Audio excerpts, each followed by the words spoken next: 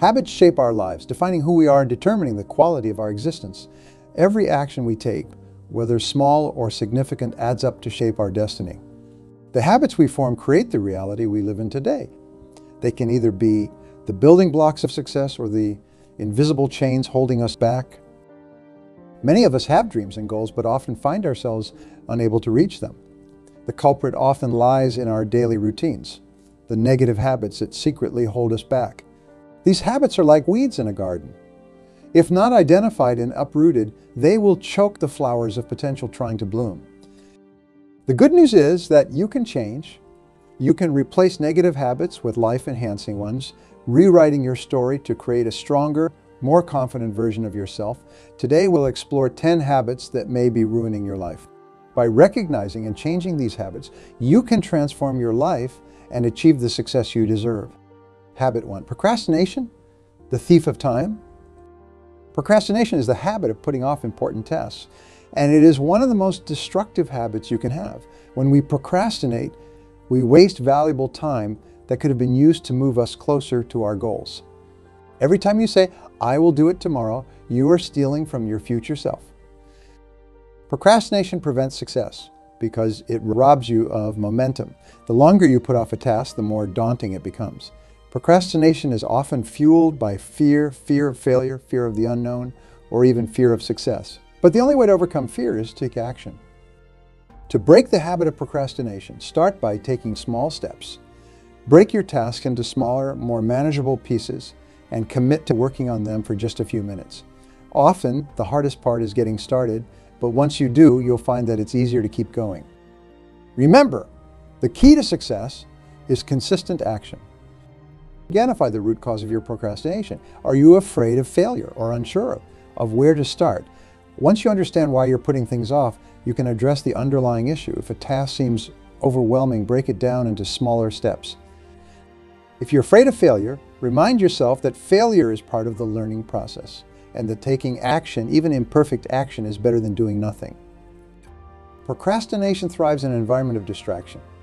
Create a focused work environment by eliminating distractions. Set specific times during the day to work on your most important tasks. Put your phone on silent and close unnecessary tabs on your computer. By creating an environment that supports productivity, you'll find it easier to overcome procrastination and take action. Habit two, negative self-talk, the enemy within. Negative self-talk is the voice inside your head that tells you that you can't do it, that you're not good enough, or that you'll never succeed. It is one of the most damaging habits you can have because it limits your potential and keeps you from taking action. The way you talk to yourself has a powerful impact on your mindset, your actions, and ultimately, your results. When you engage in negative self-talk, you create a self-fulfilling prophecy. If you tell yourself that you can't do something, you won't even try. If you believe that you're not worthy of success, you will sabotage your own efforts. Negative self-talk keeps you stuck in a cycle of fear and self-doubt, preventing you from reaching your full potential. The good news is that you can change your internal dialogue. You can replace negative self-talk with positive, empowering thoughts. Start by becoming aware of the negative thoughts that come up and challenge them. Ask yourself if they are really true. More often than not, they are based on fear, not reality. Replace those negative thoughts with affirmations positive statements that remind you of your strengths and capabilities. For example, instead of saying, I can't do this, say, I am capable and I can figure this out. Over time, these positive thoughts will become your new reality. Consider the example of Sarah, who struggled with negative self-talk for years. She constantly told herself she wasn't smart enough to succeed in her career. This belief held her back from applying for promotions and taking on new challenges. One day, Sarah decided to change her internal dialogue. She started using positive affirmations daily and surrounded herself with supportive friends. Gradually, she began to believe in her own abilities. Within a year, Sarah applied for a promotion she once thought was out of reach and got it. By changing her self-talk, she was able to break free from her limitations and achieve her goals. Another powerful way to combat negative self-talk is to practice gratitude. When you focus on what you're grateful for, it's, it's harder to dwell on negative thoughts. Take a few minutes each day to write down three things you're grateful for. They can be big or small. Uh, anything that brings you joy or makes you feel good. Practicing gratitude helps shift your focus away from what's wrong and towards what's right in your life, which in turn helps to quiet the negative voice inside your head. It's also important to surround yourself with positive influences. The people you spend time with can have a significant impact on your mindset. If you're surrounded by people who are constantly negative or critical, it's likely that their negativity will rub off on you. On the other hand, if you spend time with people who are positive, supportive, and uplifting, their positivity will influence you as well. Seek out relationships with people who encourage you, believe in you, and lift you up. Their support will help you develop a more positive internal dialogue. Habit three, comparing yourself to others. One of the most common habits that ruin people's lives is comparing themselves to others. With the rise of social media, it's easier than ever to see what others are doing and to feel like you're not measuring up. But here's the truth comparing yourself to others is a recipe for dissatisfaction and unhappiness. It keeps you focused on what you lack rather than on what you have. Each person's journey is unique. We all have different strengths, weaknesses, and experiences. When you compare yourself to someone else, you're not seeing the full picture. You're only seeing their highlight reel, not the struggles and challenges they've faced. Instead of comparing yourself to others, focus on your own progress Set your own goals and measure your success based on your growth, not someone else's. Remember, life is not a competition. The only person you should be competing with is yourself. Focus on becoming a better version of yourself each day and you'll find that you are happier and more fulfilled. One effective way to stop comparing yourself to others is to limit your time on social media. Social media often presents an unrealistic picture of, of people's lives making it easy to feel inadequate. If you find that social media is causing you to compare yourself to others, take a break. Spend that time focusing on your own goals and accomplishments instead. You'll be amazed at how much better you feel when you're not constantly comparing yourself to others. Another important step is to celebrate your own successes, no matter how small they may seem. When you achieve something, take a moment to acknowledge it and feel proud of yourself. Keep a journal where you write down your accomplishments and revisit it whenever you need a boost of confidence. By focusing on your own progress and celebrating your own wins, you will be less likely to compare yourself to others and more likely to feel content and fulfilled. Habit four, living without clear goals. One of the biggest reasons people fail to achieve success is because they don't have clear defined goals. Without goals, you have no direction. You're like a ship without a rudder drifting uh, aimlessly hoping to end up somewhere good. But hope is not a strategy. If you want to achieve success, you need to have clear, specific goals that guide your actions. When you set goals, you give yourself a target to aim for. Goals provide you with a sense of purpose and direction. They help you focus your time and energy on what really matters, and they give you a sense of accomplishment when you achieve them. Without goals, it's easy to get caught up in the day-to-day -day grind and lose sight of what you really want to achieve. To set meaningful goals, start by thinking about what you really want in life. What are your dreams? What do you want to accomplish? Uh, once you have a clear vision, break it down into smaller, achievable goals. Write them down and create a plan to achieve them. Remember, the key to achieving your goals is to take consistent action, no matter how small. It's also important to review your goals regularly. Life is constantly changing and your goals may need to be adjusted along the way. Take time each month to review your goals and assess your progress. Are you on track? Do you need to make any changes to your plan? Regularly reviewing your goals will help you stay focused and motivated. In addition, make sure your goals are aligned with your values. When your goals are in alignment with what truly matters to you, you will be more motivated to achieve them. Take some time to think about your values and what is most important to you. Then set goals that reflect those values. For example, if one of your values is family, Set goals that allow you to spend more quality time with your loved ones. When your goals are aligned with your values, you will feel a greater sense of purpose and fulfillment as you work towards them. Habit five, not taking responsibility. The blame game. Blaming others for your failures is a habit that will keep you stuck in life. When you refuse to take responsibility for your actions, you give away your power. You become a victim of circumstances rather than the creator of your own destiny. The truth is, the only person who is responsible for your life is you. Taking responsibility is not always easy. It requires you to be honest with yourself and to acknowledge your mistakes, but it is also incredibly empowering. When you take responsibility for your actions, you take control of your life. You realize that you have the power to change your circumstances and create the life you want. Let me share a story with you. There was a man who, for years, blamed his lack of success on his boss, his family, and even the economy. He believed that his circumstances were holding him back. But one day he decided to take responsibility for his life. He stopped blaming others and started taking action. He worked on his skills, set goals, and took consistent action. Today, he is successful and fulfilled not because his circumstances changed, but because he changed.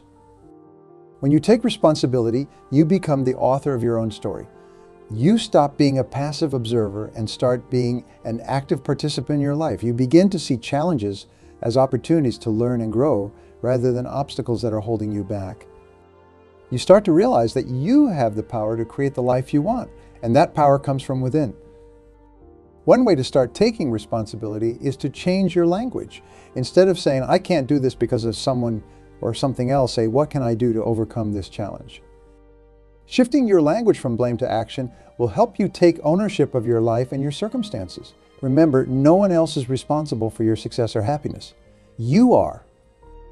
Habit six, poor time management, wasting your most precious resource.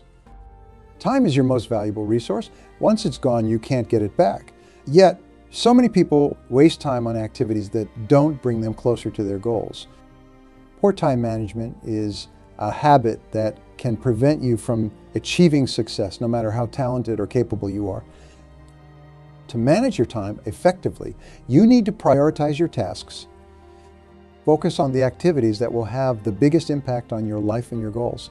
Avoid time wasting activities like excessive social media use or watching TV for hours. Instead, use your time to work on your goals, learn new skills, and improve yourself. One of the best ways to improve your time management is to plan your day in advance. Take a few minutes each evening to write down the tasks you need to accomplish the next day, prioritize them based on their importance, and commit to completing them. Remember, time is your most precious resource. Use it wisely. Another important aspect of time management is learning to say no. Many people find themselves overwhelmed and overcommitted because they have a hard time saying no to others. While it's important to be helpful and supportive, it's also important to protect your time and prioritize your own goals. If someone asks you to do something that doesn't align with your goals or that you simply don't have time for, it's okay to say no. By setting boundaries and protecting your time, you'll be able to focus on what truly matters and make meaningful progress toward your goals. It's also helpful to break larger tasks into smaller, more manageable pieces. When you have a big project to work on, it can feel overwhelming and it's easy to put it off.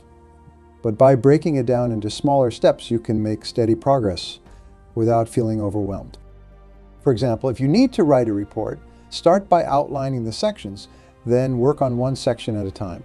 By breaking tasks into smaller pieces, you'll be able to manage your time more effectively and make consistent progress.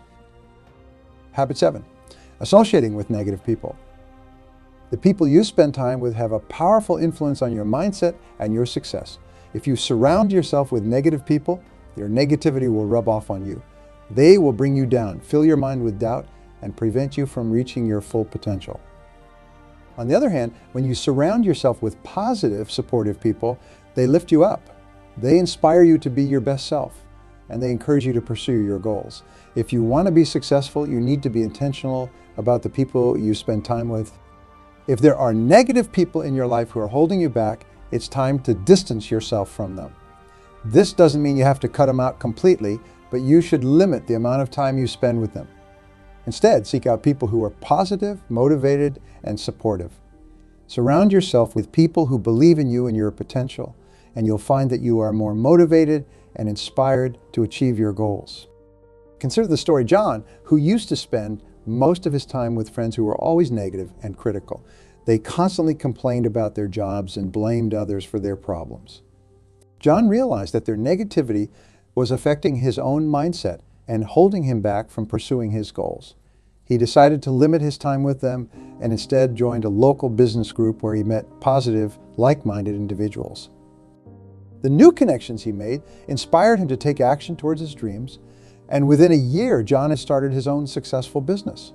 By distancing himself from negative influences and surrounding himself with positive people, John was able to transform his life.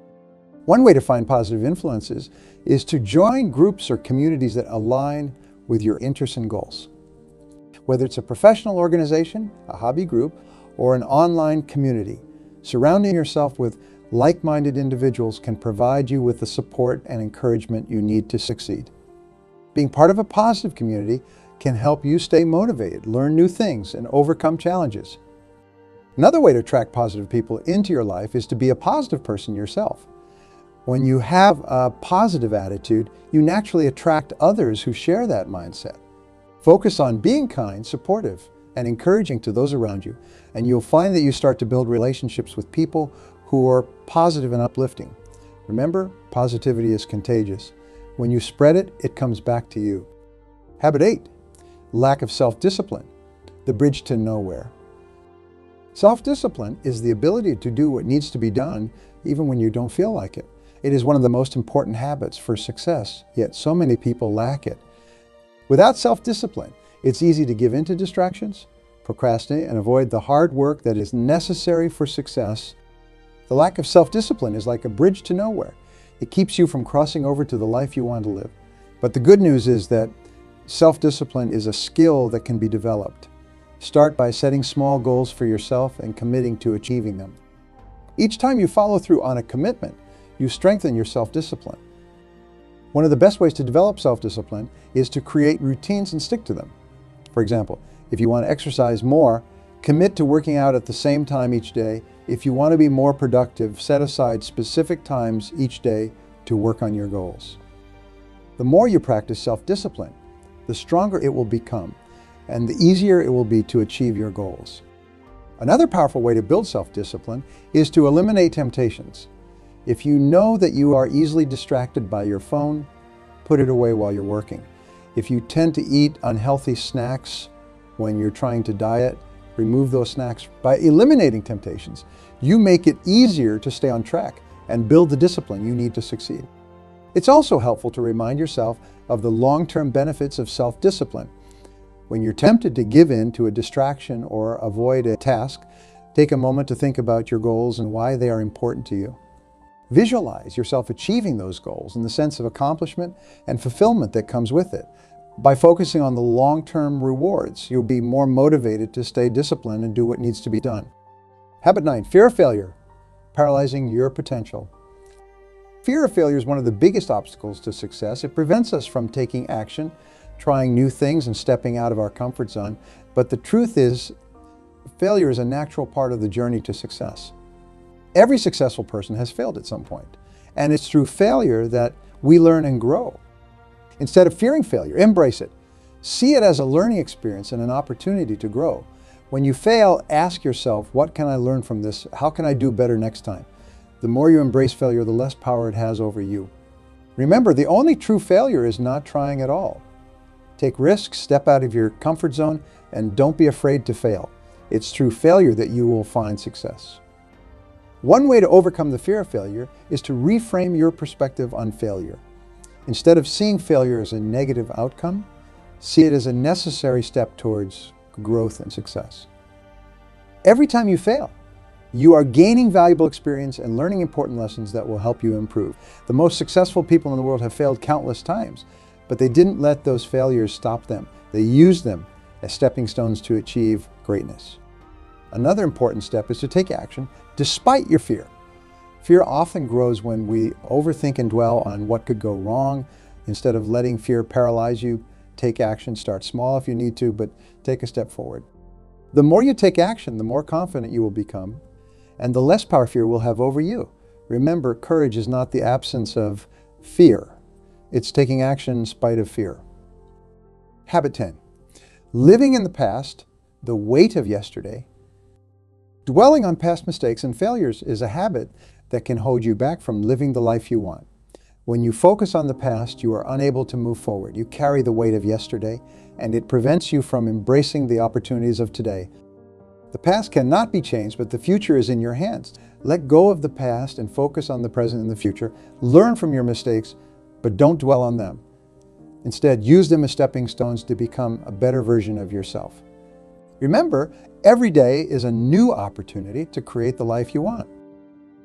One powerful way to let go of the past is to practice forgiveness. Forgive yourself for the mistakes you've made and forgive others who may have hurt you. Holding on to anger, resentment, or regret only weighs you down and prevents you from moving forward. By practicing forgiveness, you free yourself from the burdens of the past and create space for new opportunities and growth. It's also important to focus on the present moment. The present is the only moment you have control over, and it's where you have the power to create change. Practice mindfulness by bringing your attention to the here and now. When you find yourself dwelling on the past, gently bring your focus back to the present. What can you do today to move closer to your goals? By focusing on the present, you can take meaningful action and create a better future. The key to focusing on the present moment is to develop a mindfulness practice that works for you. Mindfulness can take many forms. It can be as simple as taking a few deep breaths, going for a walk in nature, or engaging in a hobby that brings you joy. The goal is to bring your awareness to the present and fully experience what you are doing without judgment. The more you practice mindfulness, the better you will become at staying present and letting go of the past.